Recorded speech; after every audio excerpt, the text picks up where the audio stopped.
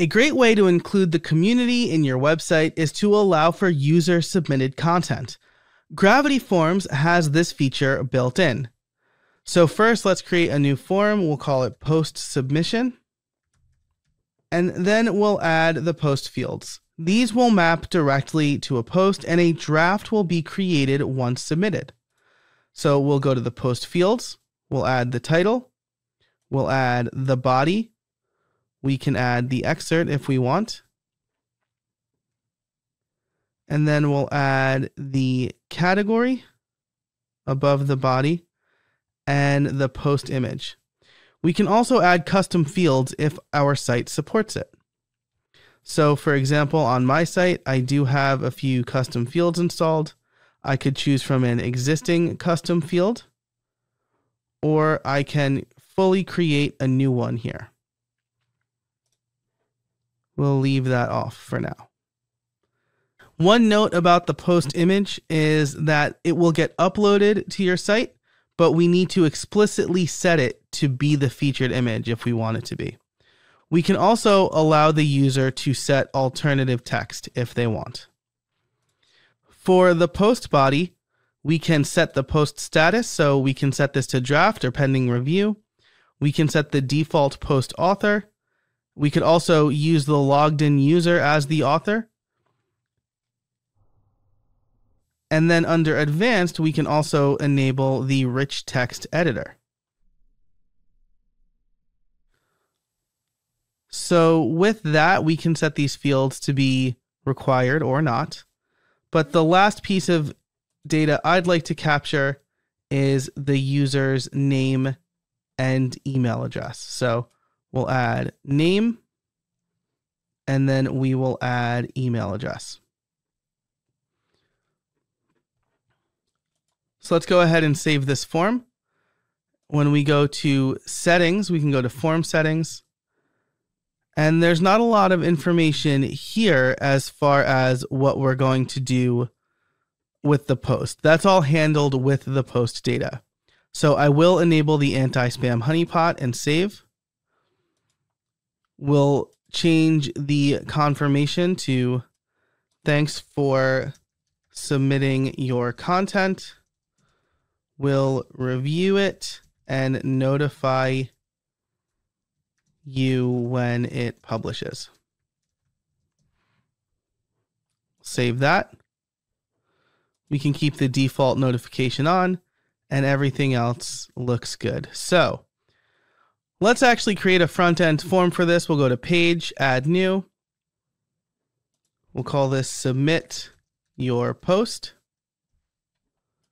And then I'll use the slash notation here, grab gravity forms, post submission.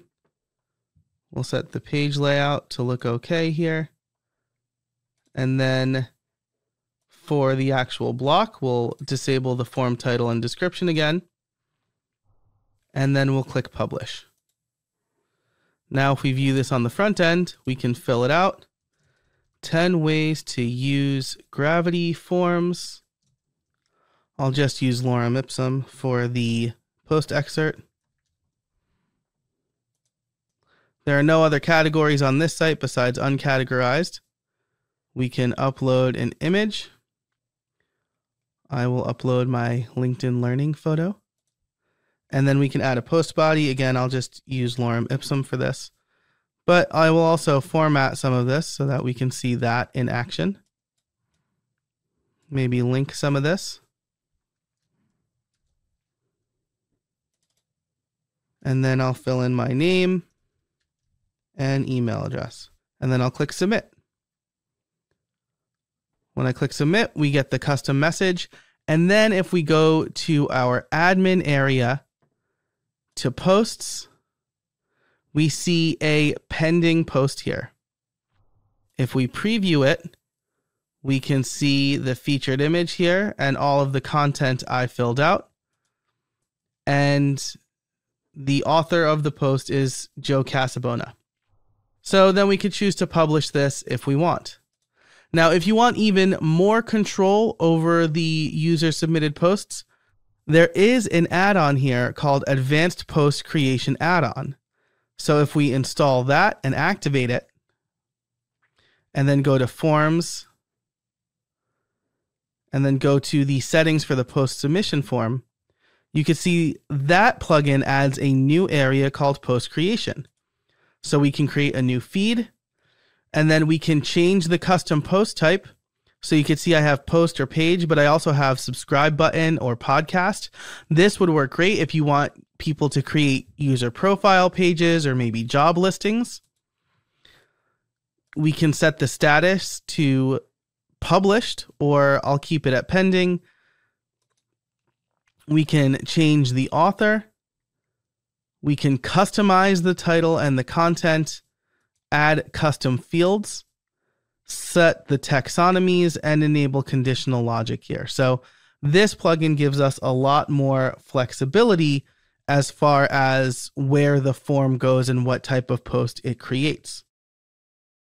Allowing users to submit content is great, but what if you want anyone who submitted to also be a user?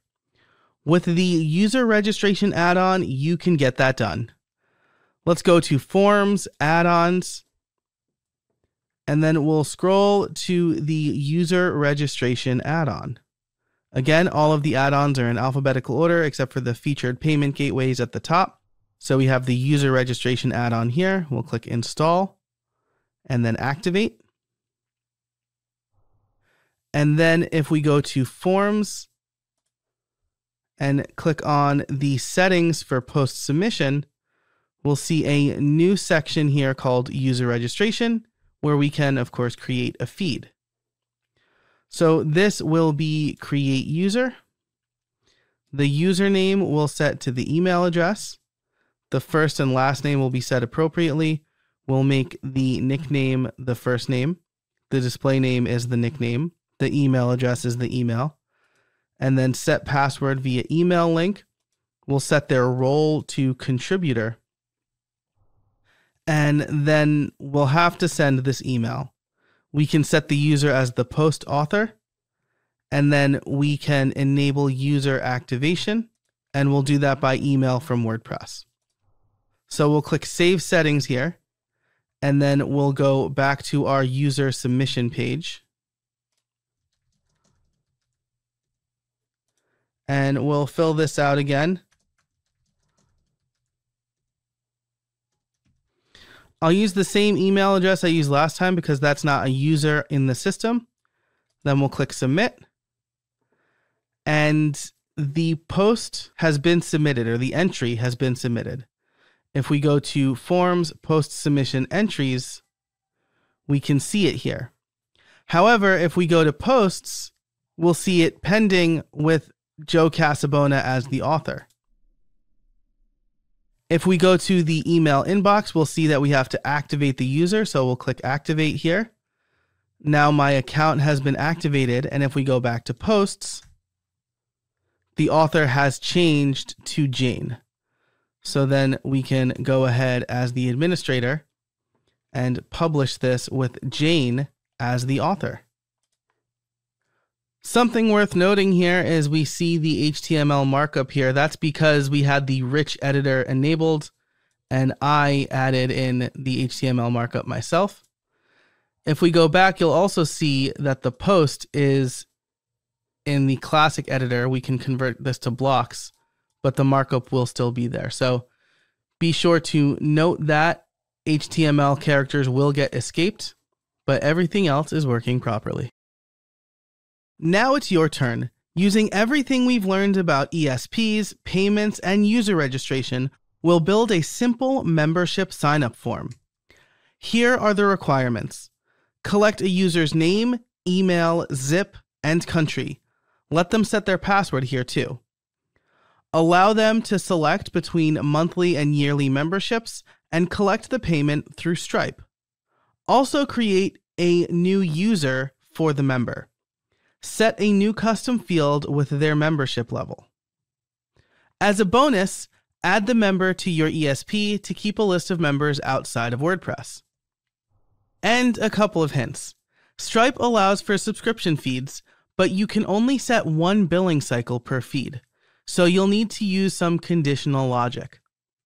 Gravity Forms also lets you send user emails via WordPress or via Gravity Forms notifications.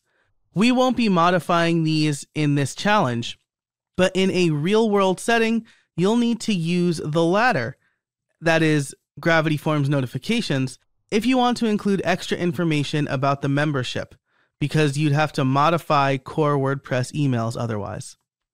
Good luck! Be sure to check out the solution video to see how I did.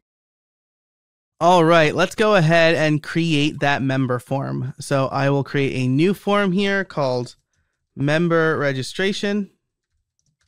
And then we'll add the first few fields here, name, and then email address. You'll notice that username is a new advanced field added from the user registration add-on, as is password. So let's go ahead and add that because we want the users to set their own password. And then we're also going to grab their zip and country. So we'll place that here and then we will customize the address to only show zip and country. I'm going to set the default country to the United States because that is where most of my members come from. And we'll set all of these as required. Next, we need to create a membership product. So we'll go to pricing fields. We'll add a product. We'll call the product member level. We'll set the field type to be a radio button. The first choice will be monthly for $9.99 and the second will be yearly for 99. We'll get rid of the third option. We'll make this required as well. And then finally, we will add the Stripe payment gateway. We can also add the total here to just display it and make it as clear as possible for the user. So we'll do that as well. The total is dynamically generated based on which products have been selected. So if we have multiple products, the total will add all of them up. So we'll go ahead and save this form and then we'll go to the settings. First, we'll make our normal setting ads will create the validation summary. I'll set the required field to asterisk. Join the club. We'll set the button text to say. I'll add the anti-spam honeypot and I'll save those settings. For the confirmation, I'll change this to thanks for joining. You should be getting an email with more information soon. And again, we can customize the notifications here, duplicate the admin notification to send this to members. We'd want to select the field here. And then we can add more information here if we wanted to add our membership benefits or anything like that under Stripe, we'll want to create two feeds here, one for each membership level. So I'll click add new. I'll call this monthly feed. The transaction type will be subscription. The subscription name will be member level. And then I'll add the word membership here. The recurring amount will be based on the form total. The billing cycle will be every one months. We can also set up a setup fee or add a trial here if we want. The billing field will automatically be filled out based on the address field. And then we have the email. For the description, we can set the form title or create something custom here, but we'll just leave that blank. And then we want to enable conditional logic. We only want this set if member level is monthly. So we'll save those settings. And then we'll go back to Stripe and we'll do the same thing for the yearly feed. So we'll say yearly feed here. Subscription. member level membership form total, and then this is every one years.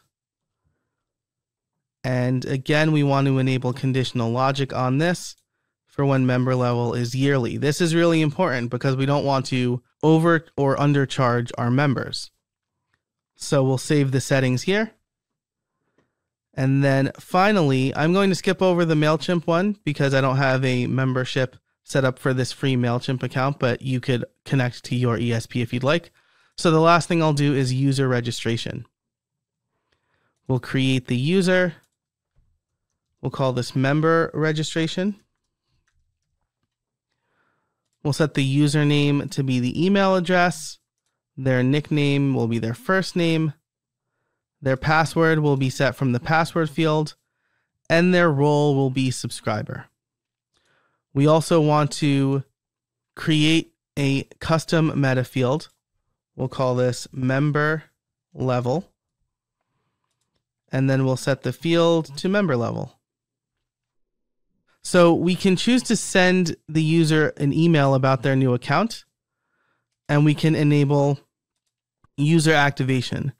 I'm going to leave this unchecked because we set up the notification, and I'm going to keep this checked so that they can activate their account. And we'll click Save Settings. And now we have our user registration form. Notice that when we choose monthly or yearly, the total changes. And if we go back, we can actually see the sales area. So we can also use this section to see how many memberships we're selling.